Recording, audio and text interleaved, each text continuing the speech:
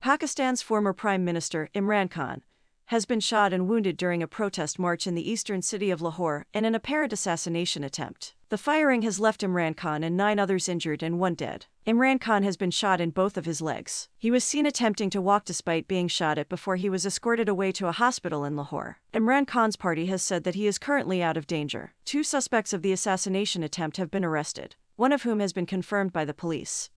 Pakistan's former Prime Minister Imran Khan has been shot and wounded during a protest march in the eastern city of Lahore in an apparent assassination attempt. The firing has left Imran Khan and nine others injured and one dead. Imran Khan has been shot in both of his legs. He was seen attempting to walk despite being shot at before he was escorted away to a hospital in Lahore. Imran Khan's party has said that he is currently out of danger. Two suspects of the assassination attempt have been arrested, one of whom has been confirmed by the police.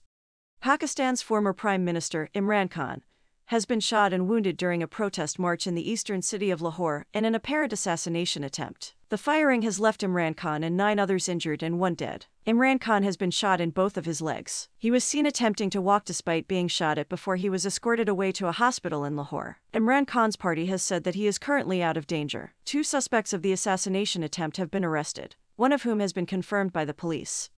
Pakistan's former Prime Minister Imran Khan has been shot and wounded during a protest march in the eastern city of Lahore in an apparent assassination attempt. The firing has left Imran Khan and nine others injured and one dead. Imran Khan has been shot in both of his legs. He was seen attempting to walk despite being shot at before he was escorted away to a hospital in Lahore. Imran Khan's party has said that he is currently out of danger. Two suspects of the assassination attempt have been arrested, one of whom has been confirmed by the police.